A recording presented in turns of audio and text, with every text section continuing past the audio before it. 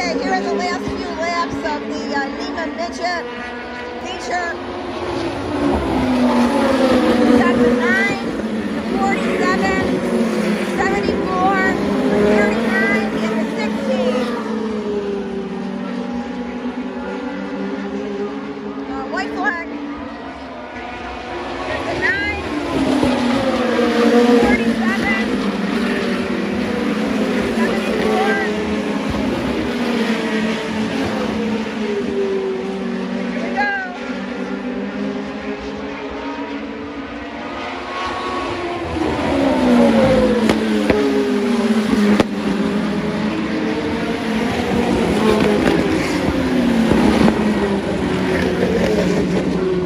Here's the finish. Number five spot. Rounds out the top five as O'Brien started on the pole. Blake Moscow finally gave way, and in fact, gave way a lot as he dropped all the way back into the middle of the five. Finishing sixth, seventeen, and third. Mike Moore was seven. Shane Trader in eighth. Doug Cleveland was nine. Rounding out the top ten was the other number 16, Eric Bacon. So there you have the final feature event before we have the NASCAR Women's Live 150 lap feature. The race leader- Okay, uh, coming up next is the uh, 150 lap uh, Whelen Modified Tour feature. And they're all lined up in the pits and ready to go.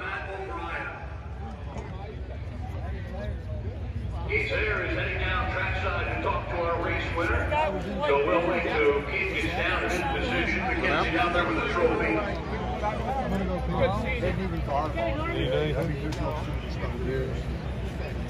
The winner of the NEMA feature and both of the NEMA midget races going great to checkers without any problems in between. John Sick getting the win. Started outside in row number three.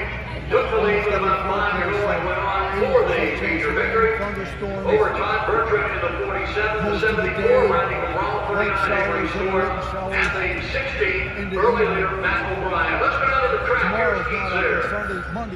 Well, it's Bedford time here for the team of business. This is the one we've seen a few times in victory lane here on Oswego. John Zink started out trying to big back, and then when that green flag, he took off like a rocket. He was fast on that first lap.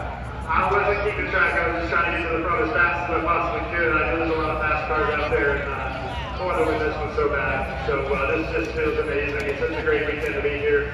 Uh, thank you to Oswego and the fans for, uh, for letting us try to put on a show here, and uh, it was good for was. Took me a little while to get around this. and, uh, We were pretty confident we were going to be able to be here. I mean, just wait for the right moment. He was pretty fast, but every time I get a run, I just couldn't make it happen, and I didn't make contact with him down here. He checked up the last part. I got into him there a little bit, but. Uh, Okay, folks, uh, I'll be back decided to make a move. with the uh, start of uh, this Whelen Modified Tour feature. It's nice up here now. Sun's gone down. Beautiful. With the third place runner here, and we talked about Okay, folks, I'll be back. Thank you.